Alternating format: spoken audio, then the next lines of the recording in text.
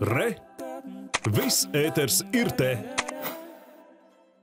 Мы бы сделали точно так же, то есть бежали. Социальная кампания, направленная на то, чтобы общество стало более открыто к беженцам, разделила его на два фронта и вызвала международный ажиотаж. Агентство ООН по делам беженцев по просьбе Латвии намерено изменить посыл кампании, а мы попытались выяснить, чем все так недовольны. То, что нам, как, как человеку, каждому нужно, самые, самые базовые вещи, это одни и те же. Это жилье, это работа. А без этого и жизнь не жизнь. Поэтому, по мнению авторов социальной кампании «Мы сделали бы так же», без возможности удовлетворить свои базовые потребности, люди должны бежать. Так же, как это делали беженцы из Сирии или Ирака. Реклама должна была пробудить сочувствие к приезжим у местных жителей.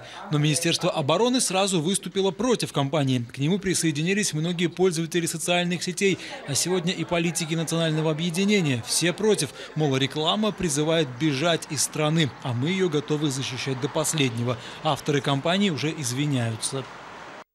Эта тема действительно актуальная, сложная и чувствительная. От имени команды ДДБ «Латвия» приносим извинения всем, кого акция задела. ДДБ «Латвия» решила пересмотреть дальнейшую коммуникацию компании и сделать необходимые изменения, чтобы не допустить недоразумений в будущем. Отметим, что заказчик компании агентства ООН по вопросам беженцев. Как сегодня заявили в латвийском МИД, в других странах мира эта международная компания проходит под слоганом «Мы вместе с беженцами». И только латвийские рекламщики отличились.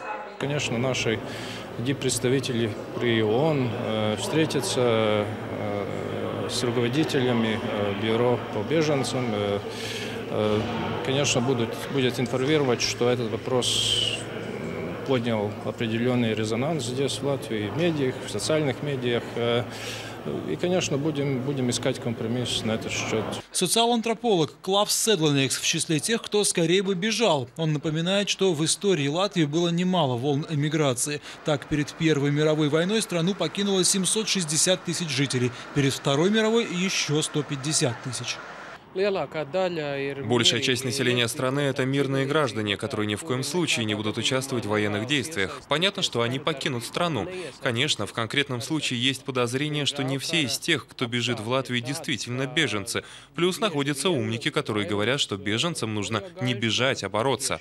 Я не думаю, что моим родственникам и моим близким в случае угрозы нужно здесь оставаться. Многие говорят, я сначала отправлю семью в безопасное место, а потом возьму в руки дедушкины ружье. Эксперт напоминает, что и без всякой угрозы жизни Латвию до сих пор продолжают покидать население. Сергей Герасимов, Никита Алексеев, Латвийское телевидение.